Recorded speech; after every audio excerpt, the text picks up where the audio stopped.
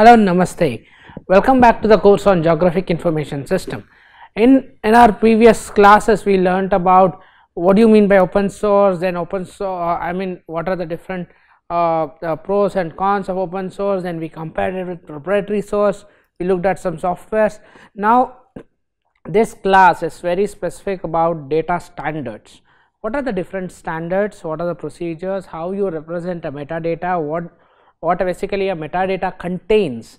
So, this is what we would see in this particular class. So, as uh, I would go through uh, the concepts, the first thing is I would look at what are data standards, what are the standardization levels, there are three levels of standardization, how we have to do standardization, all these are uh, very well established uh, levels. So, we will look at that, then we will look at elements of standardization. So, there, there are certain ways of how uh, each and everything has to be standardized. So, we will look at that. Then how we can use the data standardization to the application level also. So, that is very important when you are actually putting out your projects or you are trying to represent your data in uh, to the scale that it is usable for a decision maker or for any of the users. Then uh, the last part is the metadata. We would look at the metadata part as, as a last uh, uh, uh concept of whatever I will be speaking today. Now, when we look at data standards, so the very objective of a data standard if you look at data as a concept okay data is what you process to form an information. So in order before you get an information data has to be standardized. Because uh, whenever you are looking at uh, two data that are produced if they are not compatible enough you will not be able to understand uh, or you will not be able to look at or analyze why uh, that particular phenomena is happening if the two data are producing the same uh, variables for that particular phenomena. So, the best thing is standardize the data. Okay. So, what basically it does now I am I am the data producer let us say. So, I am producing the data that is necessary for an analysis and the end user to interpret and understand the data in the same way that I have produced. So, data has to be standardized otherwise for example if uh, if I just represent any of those GIS data that I have collected without giving its uh, representation or uh, before uh, without defining what kind of representation has to be there then that would lead to errors or misinterpretation of that particular data. So, nowadays if you can see many of the data is put out, but the way it is interpreted is not exactly correct. So, if you have to interpret it in a standard way that is what is called data standard that is called standardization. Okay. Now, when you look at standard a standard will provide definition for a data structure. So, it is it is defining a structure of the data how the data has to be stored then data content content in the data what does data contain and the rules that will first thing is increase mutual understanding of geographic data among users. There may be different users. So, the mutual understanding of each of the geographic information that is present in that particular data set will be understood by different users. Eliminate the technical problems of exchanging the data, okay. So, which means interoperability of the data will be there. So, that is why the data has to be standardized that is a very very important point when you are looking at standardization of data. Interoperability is the uh, important aspect when you look at any data to be standardized. Now, once you have interoperated uh, inter, uh, you have created interoperability then it is in increase the integration combination interoperability in terms of data management also. Okay? So otherwise your data standard would not match the managed data or the output or, or the information that you have already created. So these are the three main things that you look at when you are actually standardizing the data. Okay? One is the data structure data content and interoperability now, so once you have done that, so there uh, you may ask me what are the different levels of standardization, how do you do a standardization? The first standardization level is a generic standardization, which most of them without uh, much of an uh, uh issue can be easily done. That is first uh, when I say a generic standardization, it may be just using a query language, encoding or transferring uh, when you transfer the data the syntax that you use okay then you have uh, data description syntax the data how the data is actually stored the way it is stored also is one generic standardization. So, data description using a data description language is also standardization. So, these are generic standards first level of data standardization. Now, in once you let us say that generic standardization is very important in terms when you have something that is queryable by various people who do not understand the language of GIS. Okay. So, but if there are people who under, mutually understand the language of GIS and understand the terms and conditions then the level 2 and level 3 basic standardization are very essential.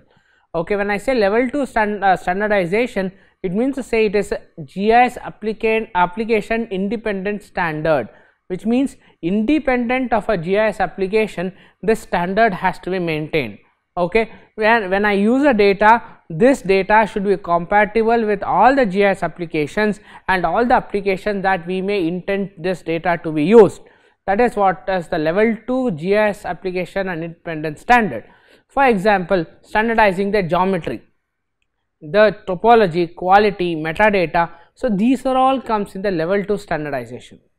Level 3 standardized data is we are very specific to what application we are using for example, if we are using a cadastral uh, for application on a cadastral level or you application to the utilities, roads, urban planning. So, all these applications have their own standards. So, you as I previously said there are certain ways of looking at the data. It is not that every data has to be looked at, uh, at as a spatial resolution of 1 centimeter or let us say 1 is to 1 ratio. There are data which has to be scaled, uh, which has to be looked at at a level of 1 is to 10,000, 1 is to 5000 to make an uh, effective decision making, but when you are looking at that, so you have to maintain a specific standard. So, each of these applications have their own way of looking at the data. So, this may you you if you understand how this uh, how you score choose the scale of a level of uh, uh, collecting data and application of the data then you would be able to easily interpret the level 3 uh, where, where the GIS application specific standardization is necessary. Okay. So, when you look at this there uh, exists an consortium this consortium is uh, works for the development of basically an open solution developing open solutions which is essentially towards geography informations which means any data that has geography connected to it. Okay? So that that is where the open open source geospatial consortium or open geospatial consortium works uh, in a larger context so this was established in 1994 by the data system database system vendors gis vendors and information technology companies. Why is it basically necessary? It is necessary for various things. The first thing is if everyone has to understand what is a kind of a data standard what is a kind of data needs and what are the standardization needs, then one has to have a certain uh, uh, common global level in which people understand uh, what is the standard. That is where the open, open geospatial consortium was established. OGC standards are well framed at, at a level of how the data uh, is converted to information, how the data is stored as a database and how the data is accessed by any of the users. And this is where the open space geospatial consortium forms a very important aspect in any anyone's uh, uh, data processing. So, open space geospace uh, open uh, source geospatial consortium is uh, I would speak about this in detail probably in my next lecture, but as of now OGC is one uh, uh, works for the development of open solutions linked to processing of geographical informations. Now, when you look at uh, OGC consortium as I said it was established in 1994, but came to force in 1995. So, uh, when when you look at uh, that it has certain elements or it has listed certain elements of standardization. The first uh, the first element is conceptual modeling and application schema. So, when I say conceptual modeling it gives you the concepts on how the modeling and application has to build what kind of schema has to be used and what application it has to be used. It comes under the ISO 19100 series and it very clearly determine uh, uh, very clearly defines the schemas of how the application can be developed data into applications and how the conceptual modeling can be done how a model can be built basically.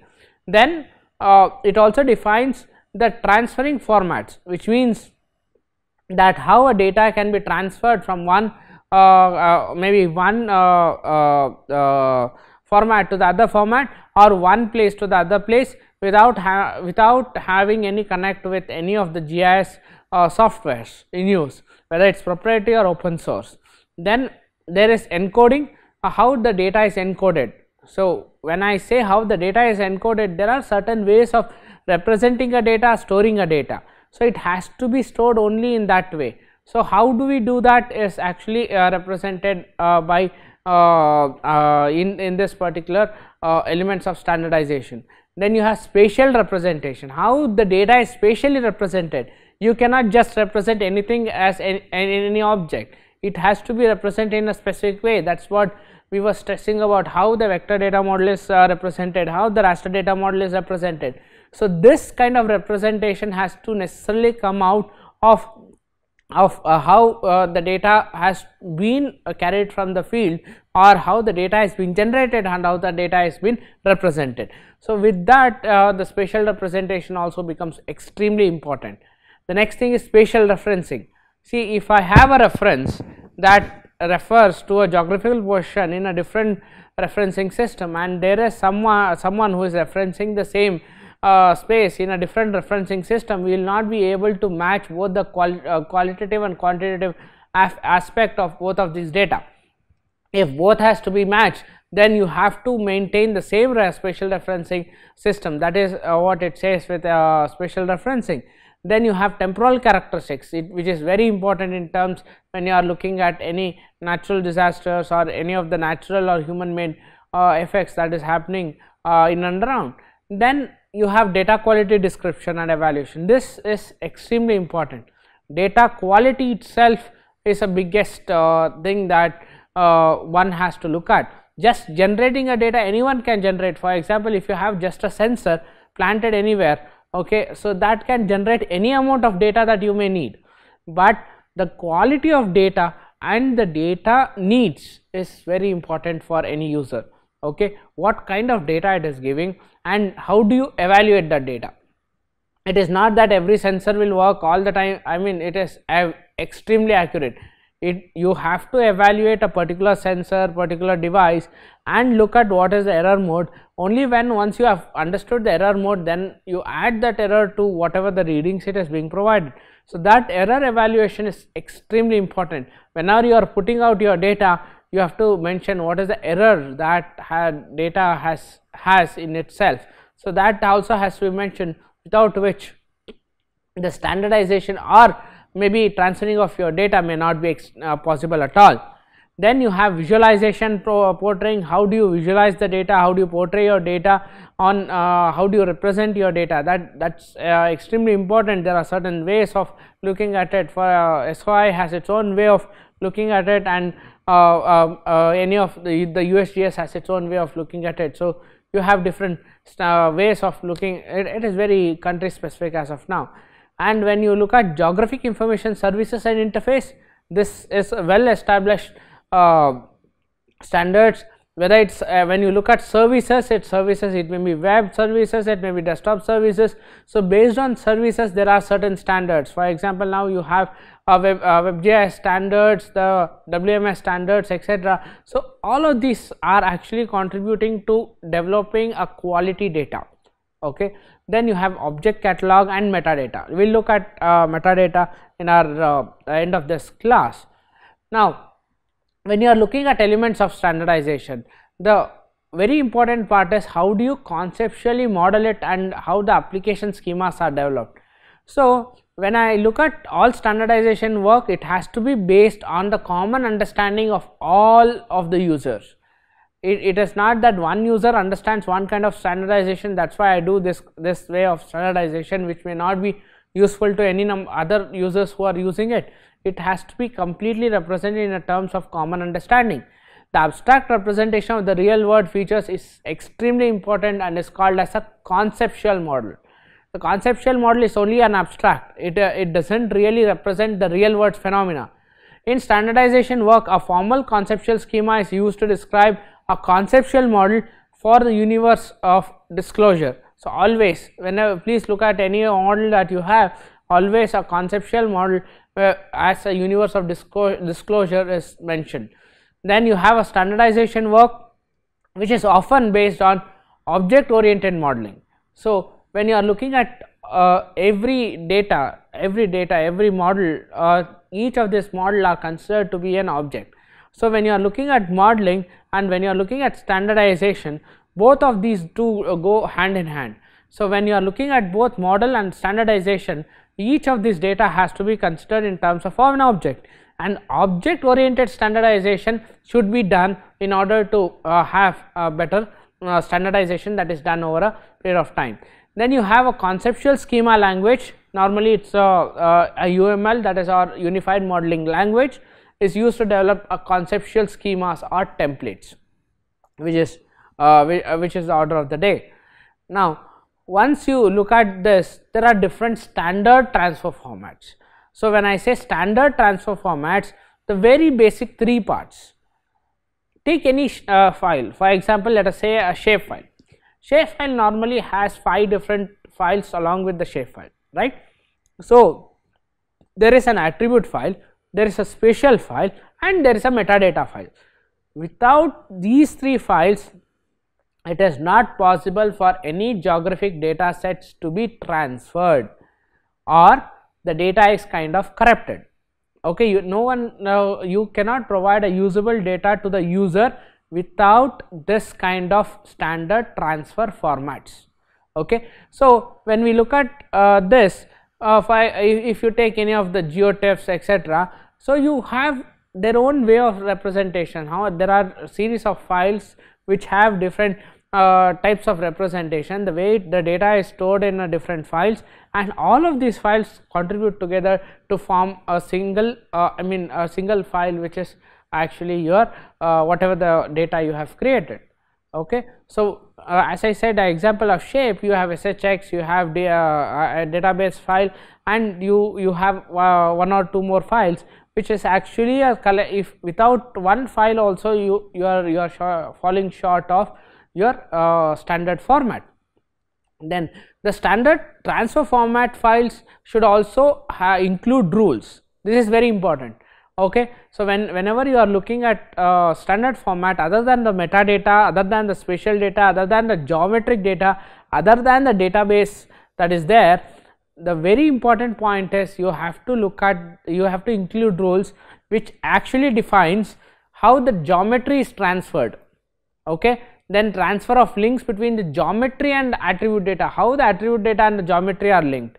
Then attribute data transfer uh, data our attribute data transfer how it is done so that information then transfer of metadata how the meta metadata is transferred that is also very essentially uh, need to be understood or need to be represented when you are representing any standard format. So, now I am speaking about the format of how it is data is stored. Okay. So, now the in case of storing you have to encode your data there are various ways of encoding a data. Whether you take any raster image or a vector image you it has to be encoded in a certain format. So it means it entails certain components to be included in the data in order to encode it in a specific format. So when i say encoding encoding rules allows geographic information to be coded into a system of independent data structure suitable for transport or storage. Okay? So when i say that if you see this definition has three different parts. One is rules allow geographic information to be coded which means geographic information to be coded you have certain rules.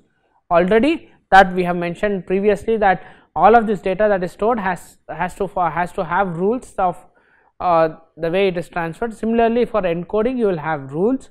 Now this data codes into a system with an independent data structure okay which is suitable for transport or storage whether it is transporting that is from one system to the other system or one user to the other user or storage from your uh, hard desktop to your hard disk or a pen drive.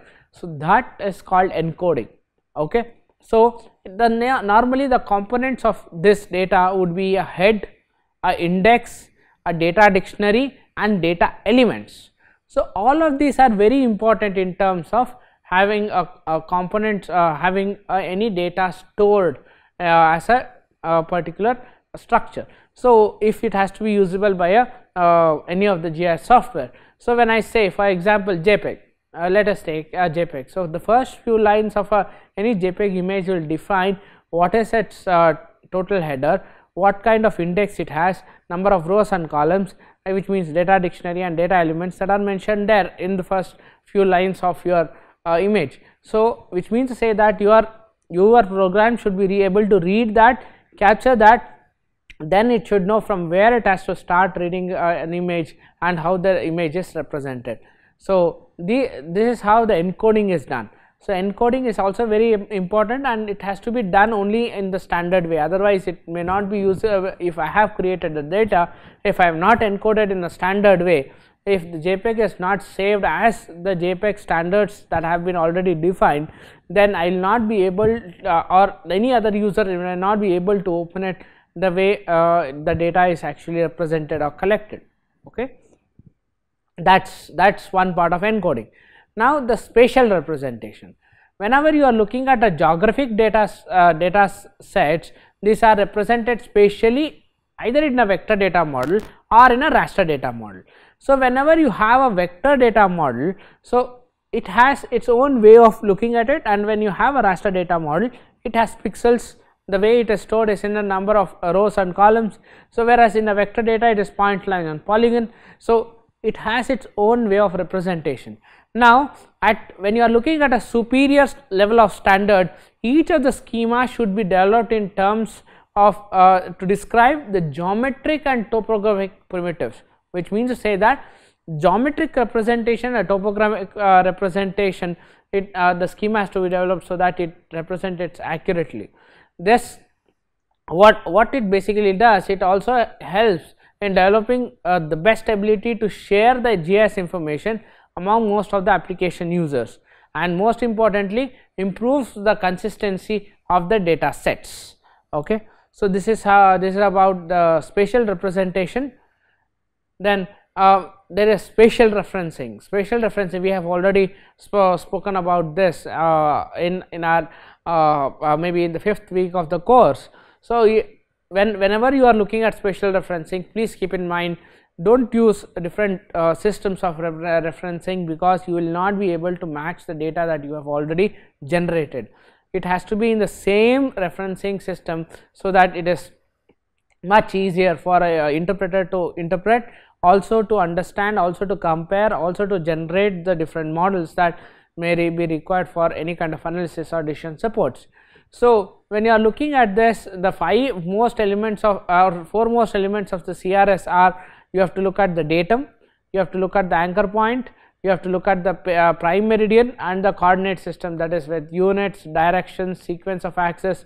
So, all of these come under uh, that part. So, this has to match otherwise it will not be if, uh, if it is not provided in the standard format you will not be able to have the data transferred to anyone if someone has generated a particular way of uh, spatial referencing it means to say that that entails that other all the users should know that or should be able to access that kind of spatial referencing. Otherwise you will not be able to open that data at all. Or your data may be misrepresented uh, for somewhere else. For example if it is created in India it may go to eastern coast of Africa or any other place. So that uh, so you will not be able to find an exact uh, locations on the earth surface. So it match it properly then it will be much easier for any kind of analysis. Then the temporal characteristics. So, when, when we look at uh, temporal characteristics we refer to the ISO 18 uh, 8601 which actually specifies the use of uh, a particular calendar and a 24 hours local or coordinate universe time for information exchange. Okay. This is a primary temporal reference system for all GIS information system. So, whenever you are using this you are supposed to use an, coordinated universal time which is UTC for any kind of uh, temporal characteristics. So, specification of date and time of the day can be standardized as a sequence which is as represented here that is year, day, hour, minute. So, not in the regular style of uh, uh, um, uh yeah, date, uh, month and uh, year it is it has to be in this format which is year, day, hour and minute and in 24 hours format. Then when you are looking at data quality and quality evaluation at, at a very superior level the objective of standardization is to maintain the data quality and handling the data quality with respect to any of the uh, GIS data. So, quality statements should uh, consist of following elements. One is what is its positional accuracy, okay? What is its attribute accuracy. So, nowadays what we see in uh, many of the data is the positional accuracy is okay, but when you are looking at attribute accuracy is what uh, the concern is. So, attribute accuracy should be very clearly understood by the uh, user also it has to be understood by the data developer and has to be mentioned. So, that the user knows that the attribute accuracy is there he, he or she can then define what, what attributes he or she has to collect or how to improve that particular database so that his or her analysis goes on in a perfect way. Then you have temporal accuracy, temporal accuracy when we are looking at it it is essentially necessary in so that all your data are standardized in a particular way or how it has the particular repetitive cycle otherwise the temporal uh, temporal accuracy if it is missing you cannot uh, provide a satisfactory interpretation to how the phenomena is actually changing. Then the local accuracy yes it very essential completeness of data. So, completeness of data is very important the quality statement without completeness of data is essentially said that the data lacks the qualities that uh, are uh, required. So, quality completeness is very very important when you are putting out the elements of standardization. So, uh, then the visualization, how do you visualize, how do you use certain computer graphic standards whether it is OpenGL, whether it is GKS. So, use of different attributes to visualize the geometry, how do you use it whether it is standard uh, attributes or whether it is just used for the sake of using. So, at application level standardization it can be performed with respect of cartographic symbols. Okay, we have we have discussed what is cartographic symbols based on those symbols we use application level standardization. In standardization work the term portrayal is used instead of visualization normally. Okay. So, visualization is uh, is the word it's a common word or uh, port, uh, portrayal is the one that is uh, normally used in terms of standardization. And when you look at geographic information services and interface standards are important for users to access and uh, progress geographic data from variety of sources across computing interfaces. This includes web server interface, open information technology environment. Uh, so, with, uh, when, whenever these things are included, a user should be able to query the geodata ex, uh, existing at a remote databases and control the process happening. So, that is very important. it is not that just you put in graphs and show the web server interface, but it is very essential that user will be able to access or query that particular geodata and you and maybe use uh, for his or her analysis. So, that is very important that's uh, that's where that's where the WebGIS is today turning into more of uh, more user friendly in terms of how the data is actually represented to the user. Now there are different themes that needs to be standardization at application uh, levels for example the buildings the way it is represented the transport the utilities the land use uh, administrative units water so all of these have certain ways of transport uh, representation that is already uh, standardized. So, we have to just follow that up so that it is represented properly. Normally survey of India whatever the kind of representation is used. So, we uh, normally follow that kind of standard. So, heights, control points, annotations, text, styles, trees. So, all of these has to be basically used theme wise for standardization and the last concept that uh, we would understand is the metadata. When I say metadata, these are the data about data. So, we have already discussed this, but when you are looking at data about data which means to say that it is actually describing uh, the who is that data okay it gives you every representation for example starting from data set identification to data definitions to data overview to extent the quality, the spatial references, the distribution, the administration of this metadata all of this is handled in a metadata. Okay? So it is actually stored in a database and enables it's one one of the very important concepts of your data storage. Okay? Without which your data is useless. It cannot give any information to the user or user will not be able to extract meaningful information from your data. So whenever you are creating data metadata is extremely important. So what does it basically say? Which data is available whether they are suitable for a specific purpose. There are data which are created for a generic purpose. There are data which are very specific to a specific purpose. So you have to mention that kind of purposes. Then the location of the data storage how the data is stored where the data is stored. Then the limitation about access if any. Okay about data transfer uh, what whatever the kind of information that is there about the data transfer also has to be mentioned in the metadata. So when you are looking at metadata it has certain attributes now, when I say attributes, these are the information that a metadata data normally has to be accompanied with. For example, the data set identification, what kind of data set is there and how the data set is represented. If there is constraint, then you have to have a constraint information, then the quality of data. So, as I said previously, the quality of data is extremely important when you are actually representing a data. So, quality, its coordinate system, its identification and the spatial representation. This is the overall thing that basically we, it is necessary. Other than this, there are certain things like the content information. What kind of content that this particular spatial data has? Then the portrayal catalog, how it is visualized, what are the different tools for visualization, then distribution of uh, how it, uh, it can be distributed, then extension information, application schema, that is very very important otherwise we will not be able to put out the data as easy uh, uh, just as it is. Then extent what is the extent of that particular thing. So, you have to look at the metadata to understand the extents also whether from where to where this metadata this particular data is being represented. The citation so who has created this particular metadata and what what does it represent.